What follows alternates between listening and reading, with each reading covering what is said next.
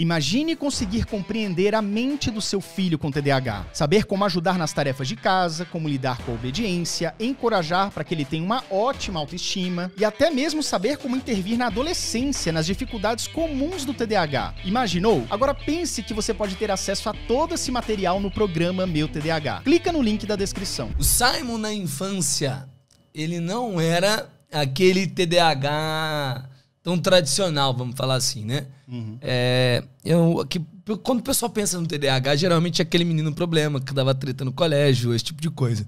Eu não era exatamente o aluno que causava problema, né? Mas eu era aluno que tentava me esforçar muito para estudar.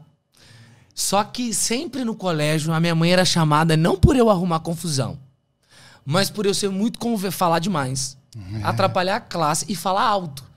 E aí a frase que as professoras sempre tinham para mim era o seguinte: ele é muito bom aluno. Se ele se esforçasse um pouco mais e se ele falasse um pouco mais, menos e tal, ele não ia atrapalhar a classe. Então eu era problema nesse quesito, em falar alto. E os professores não observavam o esforço que eu fazia em tentar acompanhar a classe, então eu sempre falava, ele podia se esforçar um pouquinho mais. É, né? né? Parece sempre que é uma. tá faltando a gente se esforçar. Isso. Né? É a impressão que tem. Então, essa era, era um dos pontos. E o outro ponto, cara, é que atividade física. Educação física era uma merda pra mim. Era uma merda. Pode falar merda aqui, não tem problema não, né? Pode, Aquilo, é liberado. É que assim, né? Às vezes eu vou falando aqui, né? Tem umas crianças de seis anos lá, eu tô ferrado aqui. Todo mundo é... adulto aqui. e aí, ô Yuri, é. educação física. Porque eu era desengonçado demais, cara. E além de ser desengonçado, passava despercebido umas coisas, me colocavam para jogar bola. Cara, me colocava pra jogar bola, às vezes passava a bola, eu tava olhando um outro negócio, tava distraído com não sei o quê. E aí os amiguinhos ficavam, ficava, né, puto comigo, porque, pô, mas como é que tu não viu, velho? Tamo jogando, fica com a gente. Então, esse tipo de situação acontecia muito comigo, né? E aí isso me deixava. E aí, com, com essa construção, acabou levando o Simon a ficar mais isolado. Então eu cresci muito isolado. Né? Eu era. Não era de muitos amigos. Uhum. Hoje o pessoal vê o Simon. Ah, o Simon é comunicativo, né? O Simon é descolado, né? Fala mesmo, não tem vergonha. Não era isso o Simon na minha infância. Porque eu acabava implicando com os outros coleguinhas para me fazer parte. Uhum. Aí eu era mais rejeitado ainda e eu acabei ficando muito isolado. Então, assim, na educação física ninguém me chamava. No colégio eu falava alto pra caramba, não conseguia acompanhar a classe em copiar matéria. Sabe professor que fazia, quem já terminou o quadro? Pô, isso me deixava mal demais, cara. Eu Nunca conseguia. Né? Uhum. Então, assim, esse era o Simon criança com TDAH. E minha mãe tinha uma dificuldade muito grande em quebrar a barreira para entender o Simon.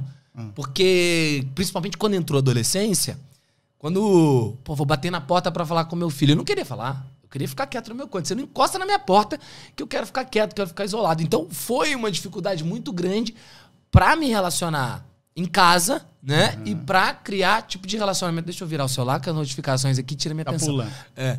E para conseguir é, me relacionar também no colégio, enfim. Então, a minha infância foi um pouco dessa maneira aí.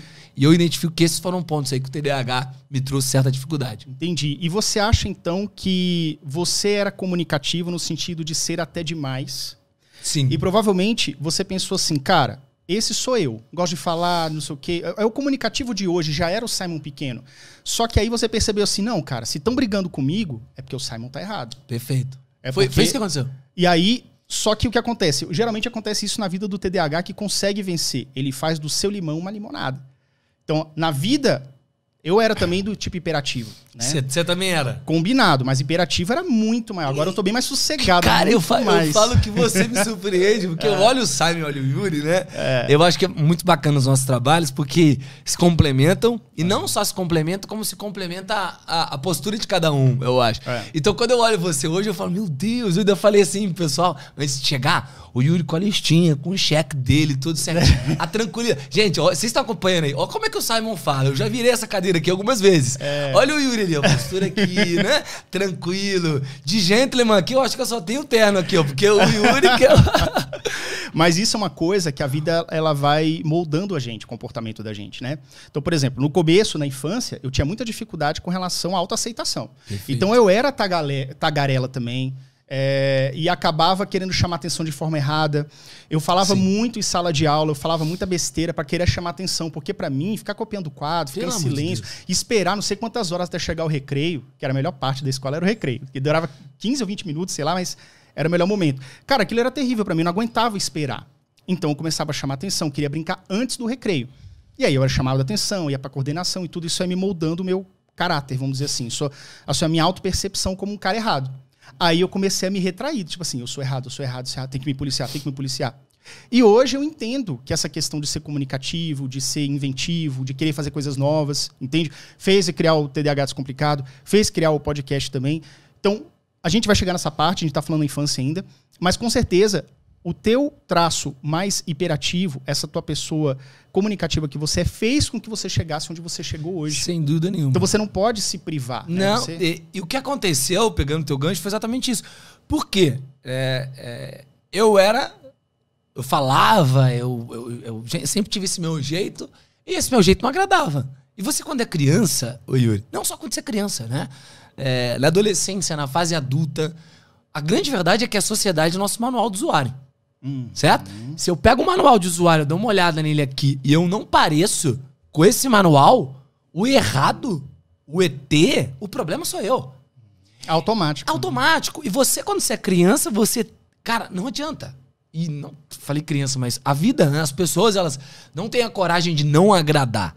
Né? Você quer agradar para você ser aceito. E você acha que o caminho é esse. E você acha que o caminho é você seguir exatamente o manual. Eu, quando comecei na, na, internet, você com certeza sobre isso também. Pô, meu, se hoje vocês acham que eu falo alto, que vocês não viram quando lá dois anos atrás, quando eu comecei. E foi uma dificuldade muito grande, porque você recebia crítica, né? Você recebia apontamentos, e na internet as pessoas fazem isso a todo momento. Fazem. Se você. E aí, cara, a gente vai falar isso depois também. Vamos falar. Você começa a, a, a, Chega um momento que você fala, cara, o que, que eu tô fazendo aqui? Né? Hum. Será que eu vou continuar nisso daqui? Porque você não aguenta aquela pancada. Uhum. E aí você quer seguir um manual. Você quer seguir um manual para empreender, você quer seguir um manual para se portar. E quando você segue esse manual, você não, não, você não funciona daquele jeito, velho. Você se ferra. Exato. Então, na minha infância, eu tentei muito isso. E por não conseguir seguir esse manual, eu falei assim, o okay, Então, vou, vou ser o oposto. Né? Que eu me tornei tímido. É e isso me trouxe traumas, vamos falar assim, que a gente pode falar depois. Sim. E aí a gente entra naquela história de que o TDAH ele nunca vai vir sozinho. Aliás, qualquer transtorno não vai vir sozinho. Uhum. Ele vai vir acompanhado de uma outra comorbidade e de trauma. E tem comorbidades que nascem depois do seu, vamos dizer assim, transtorno diagnóstico principal. Porque uh, eu tenho TDAH e também a disgrafia que veio ali da infância também.